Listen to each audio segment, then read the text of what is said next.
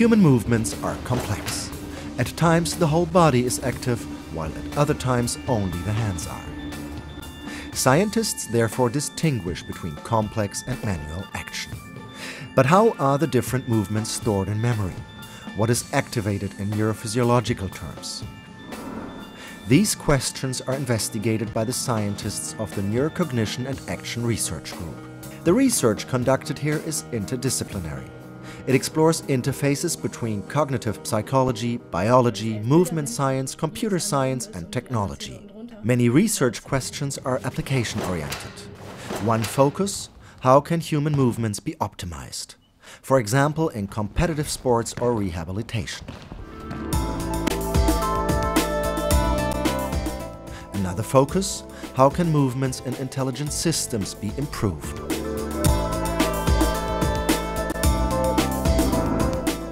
Scientists from a number of labs and disciplines work together on various research projects. The Memory Lab.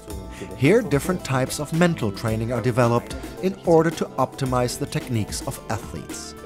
As an example, scientists use mentally augmented technical training to study how movement sequences are stored in long-term memory. Okay, we're using here a whole bunch of methods um, to measure the cognitive architecture of uh, motor actions. And uh, one of these methods is uh, to measure the memory profiles or the memory structures, how the motor action is represented in the memory.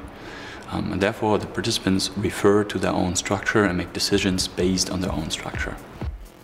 At the biomechanics lab, scientists use an intelligent camera system to measure movement parameters.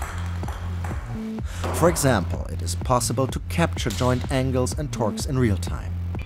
This data is then used to understand how individuals learn motor skills and how novices and experts differ in their control of movements.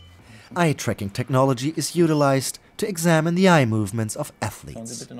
This measuring system can detect the time point during the movement individuals fixate on a golf ball. Such measurements give insight into the cognitive processes of athletes. On the basis of such data, their attentive behavior can be trained and improved.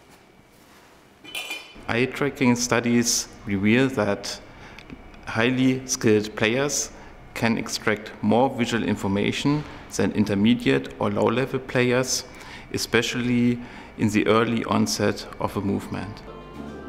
The Sensory Motor Lab here, scientists investigate grasping movements and manual intelligence.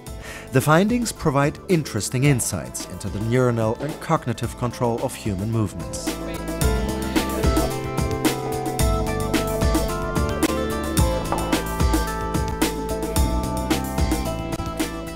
Although we don't really pay attention to how we grasp or plan our movements in advance, there is a lot of cognitive planning that goes in with that. For example, we often grasp things in an uncomfortable manner so that when we go to place them at the end, our hands or our limbs are in a comfortable position. At Bielefeld, we're actually investigating this effect using a variety of different experimental methods and bringing in a lot of different disciplines and individuals from around the world to actually examine this in its full depth. The research group Neurocognition and Action cooperates with other scientific institutions at Bielefeld University, such as the Center of Excellence Cognitive Interaction Technology. Within these cooperations, results of the empirical research on human movement are implemented into intelligent systems. For example, how can a robot grasp or move in a more human-like manner? Through various interdisciplinary cooperations, University Bielefeld has become an internationally unique environment for innovative research. Ultimately, we want to bring this intelligence into common robots in order to make them more useful. A robot becomes useful when it can manipulate objects and when it is as dexterous as a human hand. And for us, the human hand, of course, is the pinnacle of sophistication, and we want to come closer to that. And for this, also the cooperation with the Neurocognition and Action Group is a very important one because they deal with human hands. We know about how limited our knowledge concerning human action is.